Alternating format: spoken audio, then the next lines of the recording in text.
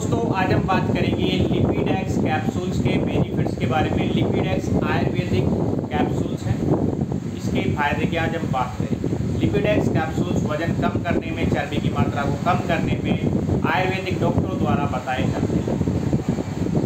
जो लोग रिफाइंड भोजन करते हैं, samosa, burger, pizza pack food तली हुई चीज़ें, रिफाइंड चीज़ें खाते हैं, ऐसे लोगों का वज़न बहुत तेज़ी से बढ़ता है। वज़न बढ़ने के साथ साथ उनका कोलेस्ट्रॉल लेवल भी हाई हो जाता है, क्योंकि चर्बी भी बहुत तेज़ी से ऐसी कंडीशन में बढ़ सकती है। कोलेस्ट्रॉल बढ़ सकता है बीपी शुगर थायराइड की समस्या भी वज़न बढ़ने से हो सकती है। ऐसी समस्या में वज़न को कम करने हेतु तो डॉक्टरों द्वारा यह आयुर्वेदिक दवा बताई जाती है।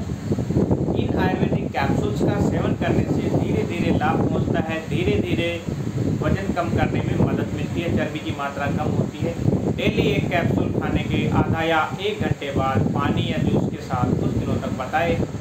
जाने पे, सेवन करने पे लाभ